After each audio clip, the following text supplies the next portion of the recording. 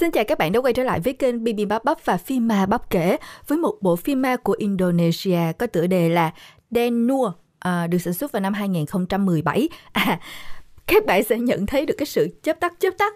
Ôi sao cái bóng đèn này nó chớp bắp tắt cái bóng đèn này quá bắp cái bóng đèn ở trên trần nhà mà hồi nãy giờ nó cứ chớp tắt chớp tắt cái bóng nó sắp đứt rồi đó các bạn mà nó không đứt nó cứ chớp tắt chớp tắt hồi sáng tới giờ mà bắp không có biết mở ra để thay bóng đợi chồng về để chồng mở ra chồng thay bóng giùm nhưng mà thôi giờ chắc tắt đi ha, chứ nó chớp tắt chớp tắt cũng khá là khó chịu á chắc có cái dòng nào ở đây rồi rồi bắp tắt luôn cái đèn rồi các bạn. Quay trở lại thì ngày hôm nay bắp sẽ kể cho các bạn nghe một câu chuyện về một ngôi nhà ma ám nhưng mà còn hơn cả một ngôi nhà ma ám. Khi mà sự xuất phát của nó đến từ một đứa bé gái có khả năng nhìn thấy ma một khả năng rất là đặc biệt nhưng mà ở nhà thì không ai biết hết. À, sự tình như thế nào đầu đuôi ra làm sao thì bây giờ bắp kể cho các bạn nghe khúc giữa nha. Nó giỡn thôi chứ phải kể từ khúc đầu chứ chen vô kể khúc giữa sao mà hiểu được. Vẫn là bắt đầu từ một cô bé gái tên là hoa hoa năm đó 8 tuổi phải chuyển tới nhà của bà ngoại ở bởi vì hiện tại bà ngoại bị bệnh rất là nặng và bà ngoại phải đi vô bệnh viện thì mẹ của hoa là bà Huệ phải đưa Hoa tới nhà bà ngoại ở. Rồi ở nhà bà ngoại á thì có hai người, hai người giúp việc. Một người đàn ông lớn tuổi rồi, trông coi vườn tược và một người phụ nữ cũng lớn tuổi dọn dẹp xung quanh thôi, chứ không có nhiệm vụ là chăm sóc cho Hoa. Ba của Hoa thì đi làm xa khoảng chừng 6 tháng mới về một lần.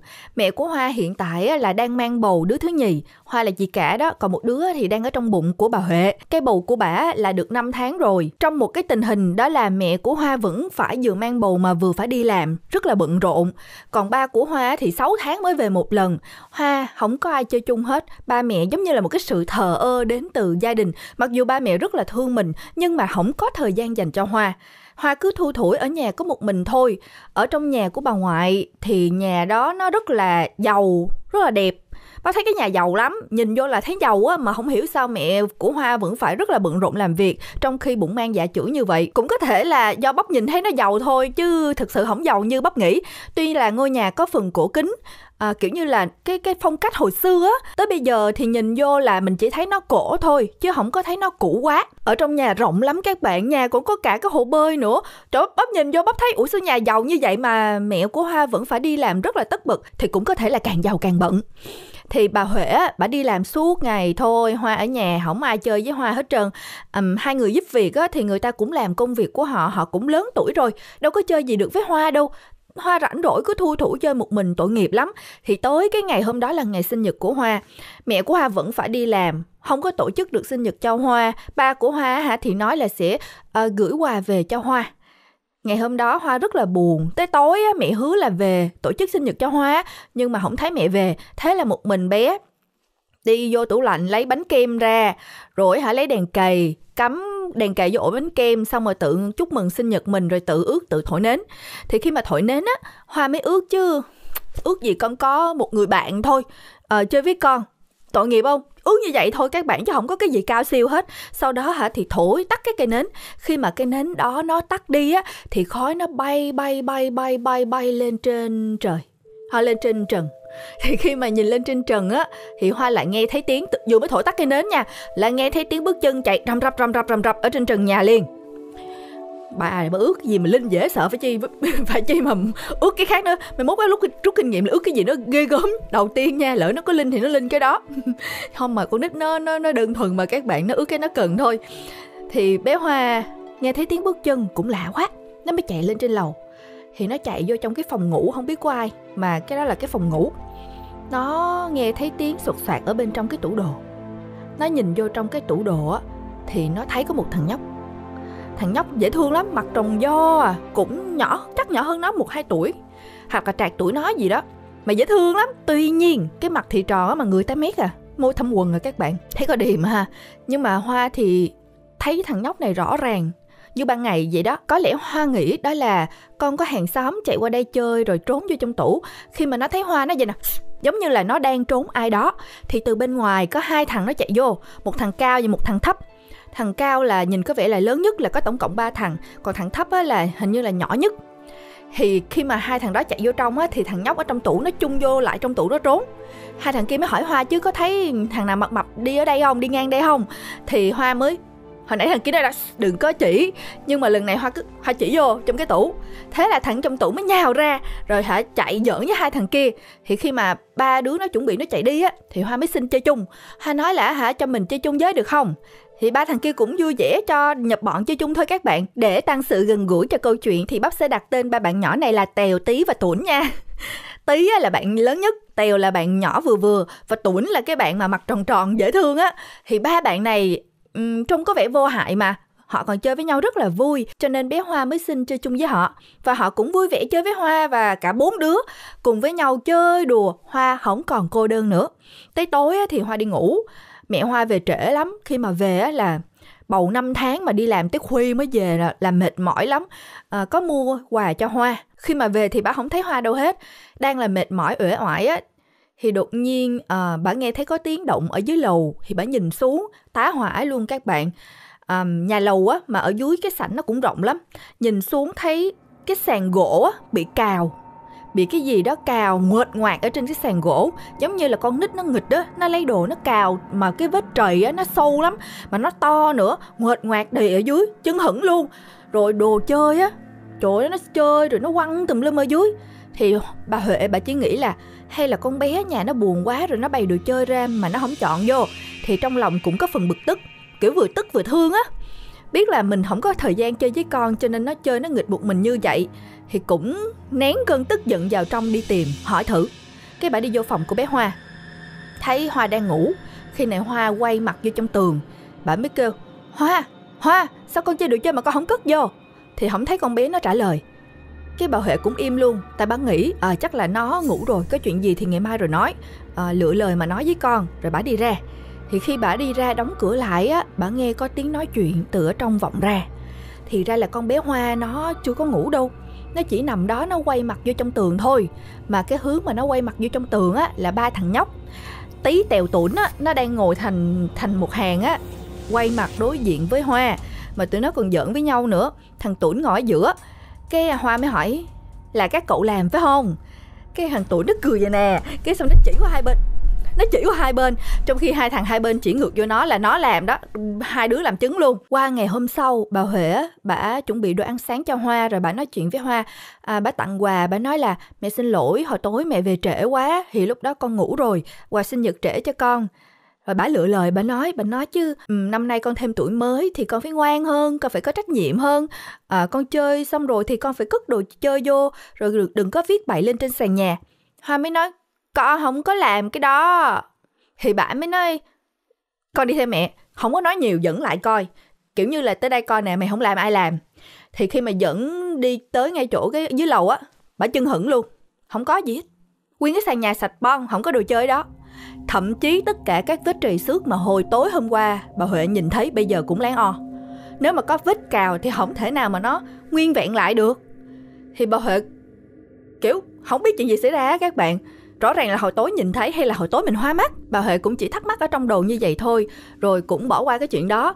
Thì khi mà bà huệ đi làm bởi vì công việc bận rộn quá cái mà các bạn bà huệ mới đi làm bé hoa ở nhà lại chơi với ba thằng nhóc nhỏ. Hoa thì biết đàn piano ở trong nhà có một cái đàn piano.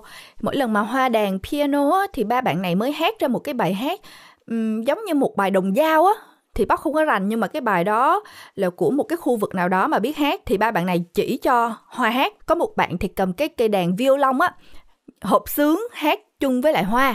Rồi hả cả bốn đứa chạy giỡn với nhau à, ra ngoài sân chơi vừa chơi vừa hát. Thì mình nhìn vô mình thấy bốn đứa nó chơi chung nó hát với nhau thôi. Còn người ngoài nhìn vô thấy một mình hoa nghêu nga hát cái bài hát đó thì đang ngồi chơi xích đu. Hoa với tí thì ngồi chơi bập bên bập bên. Còn bên đây thì có một cái à, xích đu. Thì tủn với tèo ngồi trên xích đu đó, đánh qua đánh qua lại, đánh qua, đánh lại, nhìn nó dễ thương. Nhưng mà bác thanh nhìn qua, bác thanh thấy không dễ thương nha. Ổng già rồi các bạn, ổng sáu mấy tuổi rồi? Ổng lụ khụ lụ khụ, dọn dẹp giường tược, cắt cỏ đồ này nọ thôi. Nhìn qua, thấy cái chỗ chơi bập bên thì nó bình thường. Tại vì có một mình hoa thôi, thì hoa vẫn có thể chơi bập bên nhưng vấn đề là cái xích đu không ai ngồi đó. Nó vẫn đưa qua đưa lại đưa qua đưa lại. Và cái cách mà con bé hoa nó ngồi nó chơi một mình nữa nó cười khanh khách rồi nó nói chuyện à, giống như thể có bạn bè đang chơi đùa giỡn hớt với nó. Ổng nhìn mà ổng sởn cả da gà. Hoa vẫn chơi như vậy. Rồi sau đó thì hả mấy đứa nó giỡn đuổi nhau chạy vòng vòng vòng vòng, đuổi nhau ra đằng sau vườn thì chạy tới một cái gốc cây cổ thụ. Hoa hả, chạy đầu tiên, ba đứa kia nó dí theo, nhưng mà chạy được một hồi tụi nó mới kêu là, hoa, đừng có chạy nữa. Thì hoa dừng lại quay lại nhìn ba đứa này, thì ba đứa này nó kêu là, tụi mình đi về đi, tụi mình đừng chơi nữa. Mặt tái mé rồi các bạn, mặt nó vốn đã tái rồi, tới tới đó mặt nó còn tái hơn nữa. Cái hoa mới nói, sao vậy? Đang chơi vui mà, chạy nữa đi thì mấy đứa kia nó kêu hoi chỗ đó nguy hiểm lắm. Nó chỉ tới sau lưng của hoa. Thì hoa đang đứng trước một cái cây cổ thụ. Cái cây cổ thụ to to là to và gốc rễ của nó bự mà bóp nghĩ là 10 đứa ôm không xuể. Rồi nhánh rồi nó um tùm á, nhìn nó âm u lắm tụi nó nói ở đây nguy hiểm lắm tụi mình đi về đi đừng chơi ở đây nữa. Nói rồi ba đứa nó quay đầu bỏ chạy. Thế là hoa cũng phải dí theo để mà chơi chung. Tới tối ngày hôm đó thì hoa cứ ngồi làm bài tập xong rồi nghêu nga nghêu nga hát cái bài hát được mấy đứa nhỏ dạy cho à, bà huệ đi làm về cũng hỏi chuyện con nói là u có người dạy cho con bài hát mới hả? Ai dạy cho con vậy? Thì hoa mới nói tại vì hình như là nó giận mẹ nó đó. Cứ không có quan tâm á bỏ bê nó chơi một mình cho nên nó lạnh nhạt lắm. Nó vừa viết bài nó kêu bạn con á. Cái bà huệ bà hỏi uh, bạn con là ai vậy? Thì hoa mới nói con có nói mẹ cũng không biết đâu. Xong rồi nó leo lên giường chùm mình nằm ngủ. Bà huệ thấy vậy cũng lẳng lặng ra bên ngoài tắt đèn đóng cửa. Thì khi mà đã tắt đèn rồi thì bé hoa nó vẫn nằm trên giường. Nó chùm mền nó chưa có ngủ. Trong bóng đêm mịt mùng có một cái tủ quần áo ở trên nóc tủ á ba đứa nhỏ. Nó ngồi lên trên nóc tủ trong phòng của hoa chân của nó đông đưa đưa qua đưa lại đưa qua đưa lại. Mặt mày thì tái mét như vậy là mình biết rồi đó. Hoa thì tưởng đâu là hàng xóm qua chơi chung chứ mình biết rồi đó. Ba đứa đó đâu phải là người mà là ba đứa trẻ mà. Sau khi kiểm tra bé Hoa xong rồi thì bà Huệ đi ra bên ngoài lại vẫn phải tiếp tục làm việc. Thì đang làm việc á, ông Thanh đi vô. À, Huệ thì chắc cỡ năm nay ngoài 30 một xí thôi các bạn chứ không phải là lớn tuổi lắm đâu. Nhìn còn trẻ lắm. Thì khi mà thấy bác Thanh đi vô á, Huệ mới hỏi chứ, Ủa bác ơi, à, ngày hôm nay bé Hoa chơi với ai vậy? Ông Thanh, ông nghe vậy, ông mới nói, Ủa nó đâu có chơi với ai đâu. Nó ở nhà có một mình à, nó đâu có chơi với đứa nhỏ nào đâu. Huệ mới hỏi chứ, bác có chắc không? Thì ông Thanh, ông nói, chắc bà, con bé nó chơi một mình mà nó cười trông vui lắm. Bác nghĩ là con bé hả nó bị ám rồi đó. Huệ mới nói chứ, chắc chắc không phải vậy đâu. Bác Thành mới nói, hay là hay là chúng ta liên hệ à, kể chuyện này cho ông Lân nghe đi. Huệ mới nói, ông Lân, ông Lân là bạn của ông ngoại cháu hả? Bác Thanh mới gật đầu nói, ờ đúng rồi, đúng rồi. Thì ông Lân á, là bạn của ông ngoại của Huệ cho nên nhắc tên là Huệ biết liền. Nhưng mà ông đó là chuyên về mảng tâm linh đó là thầy pháp á các bạn thầy trường tà đó. Huệ thì không phải là không tin hoàn toàn nhưng mà huệ vẫn nghĩ là thời buổi hiện đại thì mình nên gặp bác sĩ tâm lý nó tốt hơn. Huệ mới nói um, thôi để ngày mai cháu sẽ nhờ một bác sĩ tâm lý tới để mà gặp con bé. Bác sĩ tâm lý là chuyên gia cho những cái vấn đề về tâm lý cho trẻ em thì sẽ chuyên môn hơn. Nghe như vậy á bác thanh mới nói hay là mình cứ gọi cho ông lân trước đi con. Bác sợ là hả? Nhà này có quỷ á nghe bác thanh nói cũng ớn ớn nhưng mà huệ đã quyết định rồi sẽ gọi cho bác sĩ tâm lý tới để mà gặp bé hoa tới tối á khi mà đi ngang qua phòng của hoa thì nghe tiếng của hoa nói chuyện ở trong à, nào lạ hả cậu thua rồi tí cậu thua rồi à, bây giờ hả thì tới lượt của tèo Hoa mới mở cửa bước vô bên trong thì thấy con bé đó nó đang ngồi chơi. Nó chơi cái kiểu giống như là ô ăn quan á các bạn. Bắp thấy cái cách nó chơi thì giống như là ô ăn quan. À, có hai bên ngồi đối diện nhau rồi hả? Có những cái ô nhỏ nhỏ nhỏ nhỏ rồi cũng lấy đá hay là một cái gì đó để mà rải hết mấy cái ô đó. Thì nhìn giống như là chơi ô ăn quan vậy đó. Huệ bước vào bên trong phòng của Hoa và hỏi chứ à, giờ này con chưa ngủ nữa hả? thì bé Hoa nó vẫn còn đang chơi các bạn nó nói à dạ con chơi một chút nữa thôi là con sẽ ngủ. Huệ hơi ớn ớn nha. Huệ mới nói chứ à, con tranh thủ đi ngủ sớm nha tuần tới là con đi học lại rồi đó à, con phải à, tập thói quen là phải dậy sớm á. Tối thức khuya quá thì sáng không có dậy sớm được đâu. Thì con bé nó kêu dạ con biết rồi. Huệ nghe như vậy thì cũng thôi. Bây giờ nó cũng chưa đi học mà đâu có bắt nó đi ngủ sớm. Thì khi mà đóng cửa lại đi ra bên ngoài đóng cửa lại rồi á thì nghe tiếng của hoa ở bên trong. Nói chuyện vọng ra. Bây giờ thì tới lượt của cậu đó.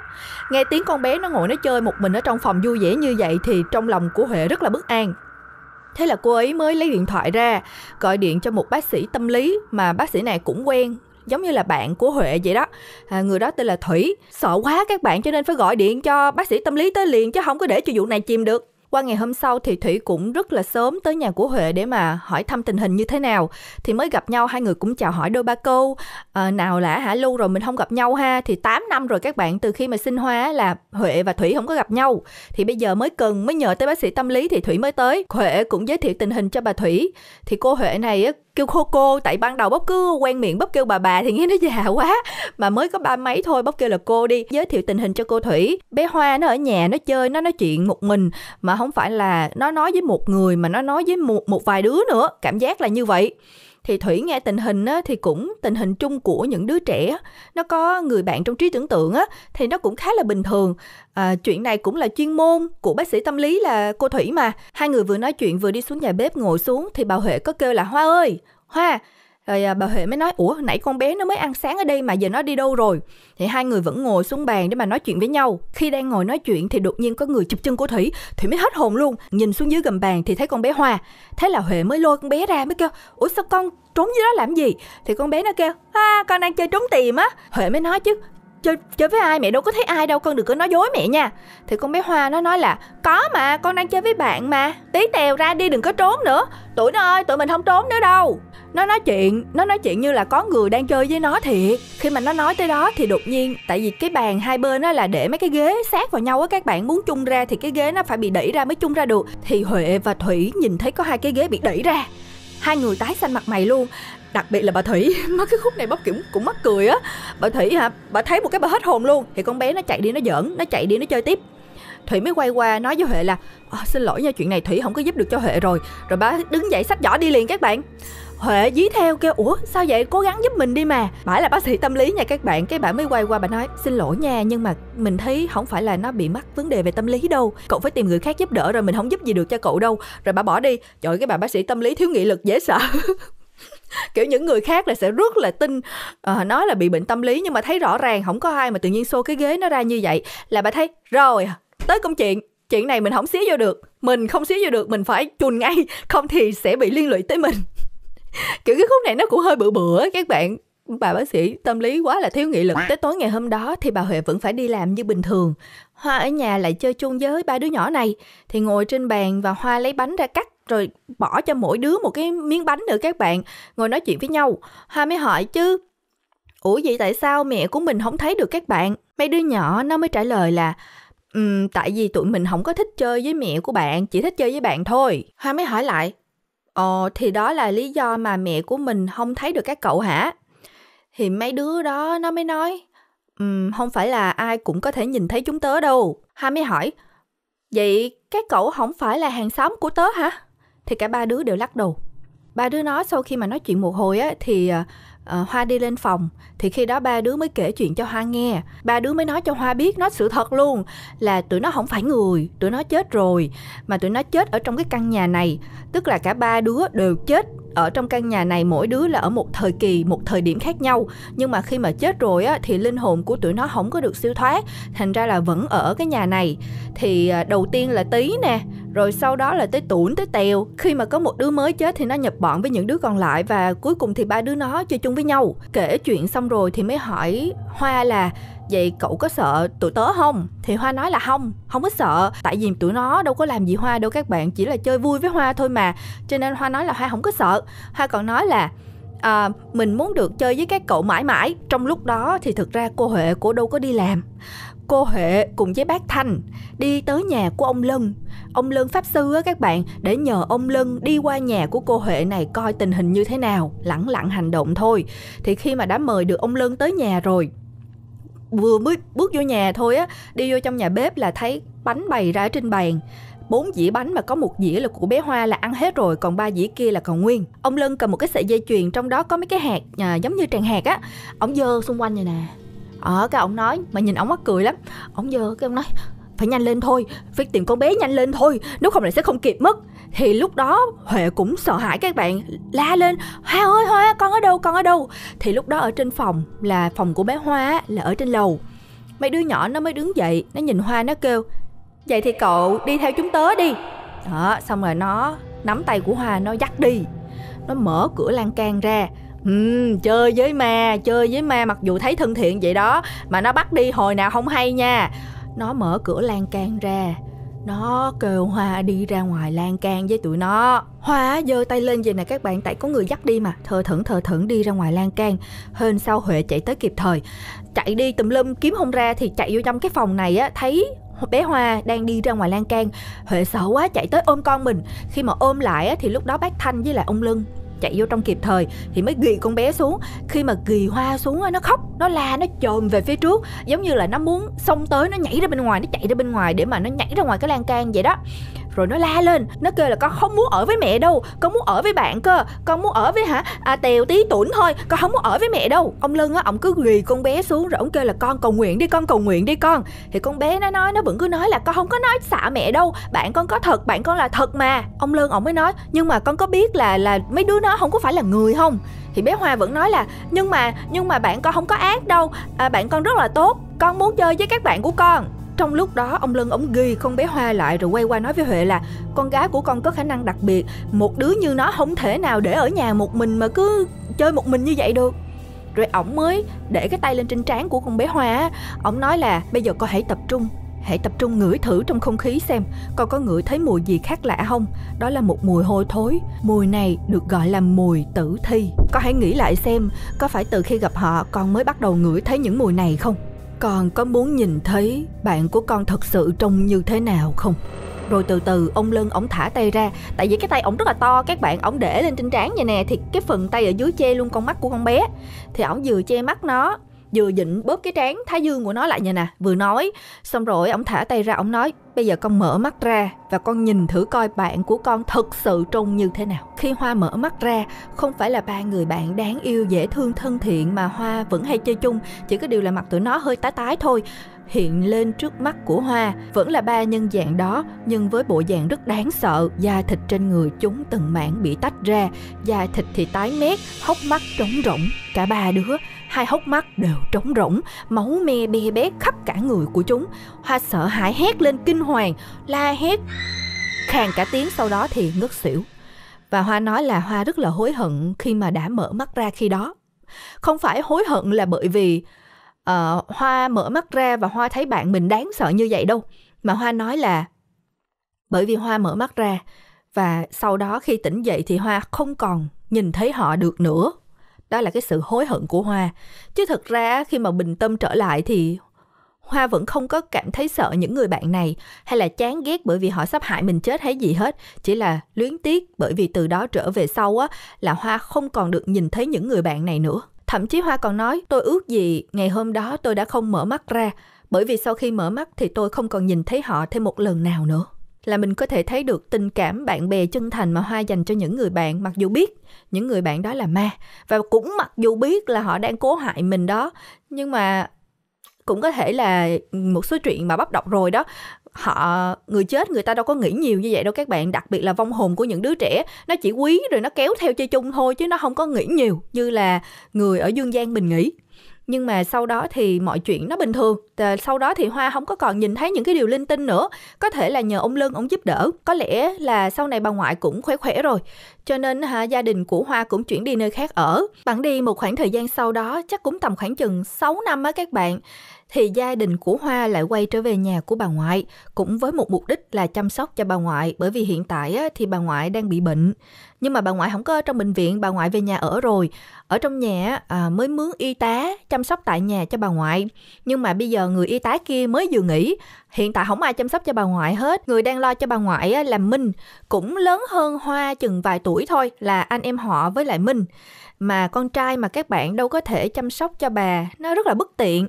Thành ra là Minh chỉ coi ngắn hạn thôi. Gia đình của Hoa đành phải quay trở về nhà của bà ngoại để cho Minh á, à, con trai thì thứ nhất là không tiện chăm sóc cho bà, thứ nhì nữa là Minh cũng phải đi học, không có thời gian ở lại lâu. Gia đình của Hoa mà cũng không phải là nguyên gia đình nữa, chỉ có Hoa và em gái của Hoa. Năm nay là bé đó khoảng chừng 6 tuổi rồi các bạn, à, tên là An. Khi mà nghe tin bà ngoại bị bệnh như vậy á, thì Hoa cũng rất là hiểu chuyện nha.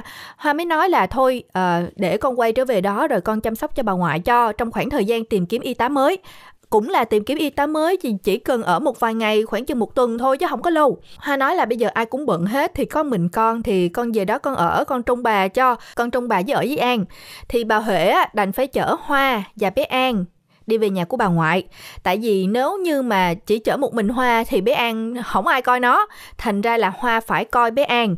Rồi bà Hệ cũng đâu có nhà không đâu các bạn. Hệ thì rất là bận rộn cho công việc. Thành ra là phải nhờ Hoa đi tới chăm sóc cho bà ngoại. Trong khoảng thời gian đó thì dì Thi là dì của Hoa và cũng là mẹ của Minh đó các bạn thì sẽ đi tìm một cái y tá mới để mà gửi tới chăm sóc cho bà. Ngày hôm đó khi mà lái xe tới nhà của bà ngoại thì bà Huệ mới hỏi Hoa là um, con có chắc là quay trở về đây ok không? À, có ổn với con không?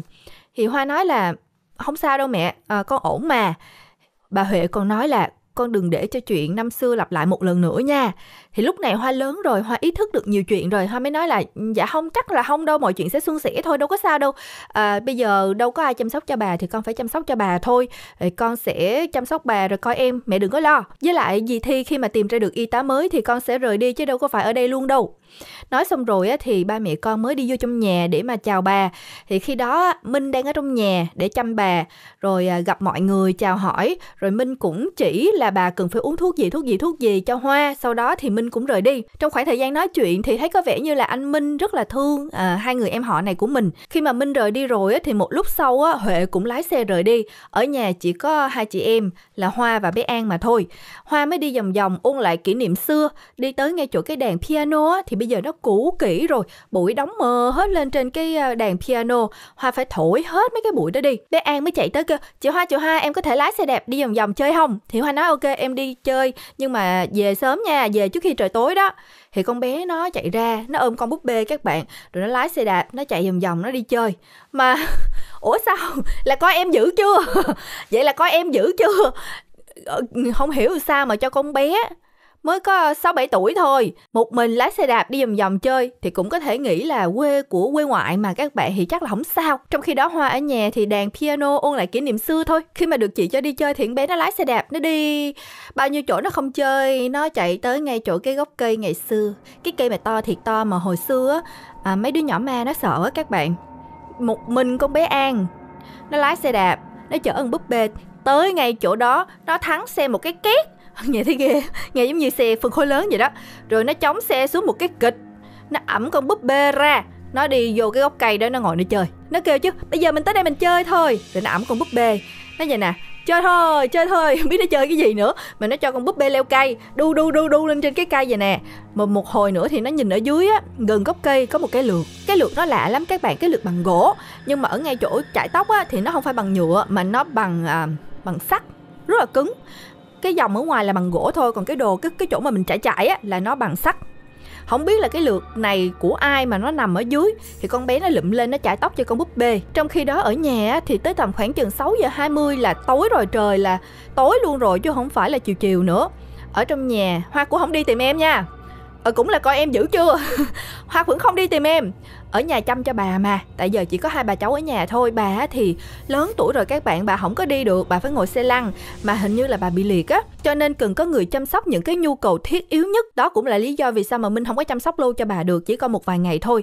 Thì hoa mới cho bà ăn, thì bà chỉ ngồi một chỗ, không có nói chuyện được luôn. Đúc thì hả miệng ra ăn thôi. Rồi nhìn ngó xung quanh thì cũng có biểu cảm kiểu như là bị liệt cơ mặt liệt người luôn á nhưng mà vẫn nhận thức được những gì xảy ra xung quanh. Hoa mới đút cháo cho bà ăn mà tội nghiệp lắm bà cứ nhìn vô trong cái đồng hồ. Nhìn vô trong đồng hồ treo tường á 6 giờ 20 bà đâu có nói chuyện được đâu. Hoa hiểu ý nha. Hoa nói chứ à, bà yên tâm đi nó đi chơi vòng vòng đây rồi nó đi về thôi. Ở à, là hoa hiểu ý là bà đang trông cháu về đó. Thì biết con bé an nó lái xe đi vòng vòng lái xe đạp đi chơi. Chắc là lo cho nên hoa mới trấn an bà như vậy. Thì đúng là vừa mới nhắc tào tháo tào tháo về. Con bé nó mở cửa bước vô thì hoa mới nói lần tới là em phải về trước khi trời tối đó nha. Con bé nó chỉ dạ xong rồi nó chạy nhanh vô trong phòng. Tội nghiệp bà lắm. À, bà nhìn theo mà gương mặt của bà hả thoải mái hơn á. Tại hồi nãy căng thẳng lo lắng cho cháu mà khi thấy cháu nó về an toàn rồi hả bà thở vào nhẹ nhõm thấy rõ luôn á thấy thương dễ sợ. Mặc dù bị liệt không có lo được gì hết nhưng mà bà rất là minh mẫn và lo cho con cho cháu. Tới tối ngày hôm đó trời mưa quá trời sấm chớp đi đùng. Hoa thì đang ngồi đọc sách còn con bé an á thì nó ngồi nó chơi gì á. Ở bên ngoài có tiếng chuông cửa. Hoa mới kêu An, ra mở cửa đi em. Rồi Hoa lại đọc sách. Con bé nó vẫn nhẫn nhơ, nó vẫn vẽ, tô tranh, chơi, đâu đâu nghe lời chị. Cái Hoa mới kêu, An ra mở cửa đi. nó vẫn lì nha các bạn nó không nó không nghe lời chị nó không đi ra cái hoa mệt quá không thèm nói nữa đứng dậy đi ra mở cửa ai có em ai có em mà có tình trạng giống vậy không y, y xì đúc y xì đúc luôn kêu nó không có nghe thế là hoa đi ra mở cửa thì mở cửa ra bên ngoài trời đang mưa thôi không thấy ai không thấy ai hết, nghe bấm chuông mấy lần luôn. Thì phải có người đang chờ ở ngoài cửa mới bấm chuông dữ dội như vậy. Nhưng khi hoa đi ra mở cửa thì hoa không thấy ai hết. Hoa mới suy nghĩ chứ, ủa, hay là người ta chờ lâu quá, người ta đi đâu mà trời mưa gió như vậy? Thì hoa mới bước đi lên đằng trước. Tại vì trước cửa là có một cái mái vòm á, các bạn nó cũng ngắn á. Thành ra là nước mưa nó không có bị ướt. Thế là hoa mới đi lên ngay chỗ cái hành lang đó rồi ngó xung quanh coi là có thấy ai không. Thì hoa không thấy ai hết. Nhưng mà đằng sau lưng của hoa có một người phụ nữ lù lù lù lù bước vô trong nhà. Thì lúc này con bé An á, nó nhiều chuyện nó chạy ra. Hồi nãy kêu nó mở cửa nha, nó không đi mở cửa. Mà bây giờ con chị nó ra mở cửa, nó nhiều chuyện nó chạy ra, coi chịu đời cho thấu không? Thì nó đứng ở ngay cửa. Cái người phụ nữ đó còn trẻ lắm các bạn, bước vô bên trong nhà. Rồi nhìn thấy con bé An á thì cười. Hoa vẫn đứng ở ngoài, không biết gì hết, cho tới khi nghe tiếng nói của bé An. Bé An mới nói, cô tên là gì vậy? Con tên là An thì cái người phụ nữ đó gương mặt nhìn thấy ghê lắm các bạn. Cái kiểu không có phải là đáng sợ vẫn là một người bình thường. Nhưng mà à, một cái biểu cảm á nhìn nó rợn người lắm. Nhìn nó không biết diễn tả làm sao nữa. Cái kiểu người ta diễn đơ nó khác còn cái kiểu mà nó đơ mà theo kiểu đáng sợ nó khác. Thì cái người phụ nữ này mới nói cô tên là sinh đứa nhỏ đáng yêu. Vừa mới nói tới đó thôi á thì hoa đi vô hoa mới nhìn người phụ nữ đó và hoa hỏi là cô có phải là y tá mới không? Thì người phụ nữ đó vẫn nhìn bé an nha các bạn. Một ánh mắt rất là đắm đuối. Cười. Gật đầu. Thế là bé an nó mừng lắm. Nó kêu, yay! Vậy là em có bạn mới rồi. Vui quá. Vui ghê. Sắp có chuyện vui rồi. Xong rồi con bé nó nắm tay của người phụ nữ đó kéo vô trong nhà. Nó kêu là, vô nhà thôi cô xin ơi. Vô nhà chơi với con thôi. Đó, rồi nó dẫn vô trong phòng đó ngồi chơi giống như là thân tám đời rồi đó. Mới gặp nhau thôi mà tưởng đâu là chị em xa cách mấy ngàn năm gặp lại đó các bạn. Trong khi nói với con chị nó không có thân như vậy nha. Xa cách lắm mà mới gặp người lạ là dẫn vô chơi thân tình lắm. À, dẫn vô phòng xong rồi hả nó ngồi nó lấy cái lượt nó lụm được á. Nó chải tóc cho con búp bê. Thì bà ngồi đằng sau lưng của nó. Bà xin á ngồi đằng sau lưng của nó vẫn cứ nhìn nó đắm đuối rồi lấy cái tay á vuốt tóc nó nhìn nè vuốt tóc vuốt tóc. Thì con bé nó chải tóc cho con búp bê xong rồi nó mới đưa cái lượt cho cô sinh. Cô sinh mới cầm cái lượt chải tóc chải tóc. Mà cái kiểu ấy chải mà nhìn giống như là một người mẹ nhìn con của mình mà nhìn đắm đuối mà nhìn một cách một cách kỳ lạ cứ vậy nè. Rồi rồi, chải tóc cho con bé rồi nó còn kêu chứ, Cô xin ơi, cô xin Tối nay cô xin ngủ với con nha. Cô xin ngủ với con là con không có còn sợ nữa. Bắp nhìn thấy cái mặt của bà sinh Thì bắp còn sợ hơn là con ma nữa các bạn. Nhìn sợ, Mà con bé nó nói cô mà ngủ với con là con không sợ. Ừ cô mà ngủ với con là con phải sợ đó con. Nhưng mà cô sinh thì chỉ mỉm cười, hiền diệu gật đầu thôi.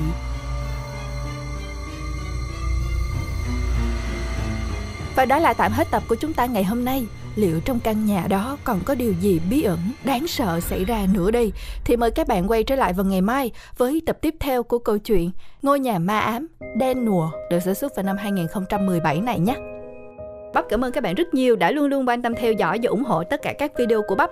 Bye bye và hẹn gặp lại các bạn ở video kế nha.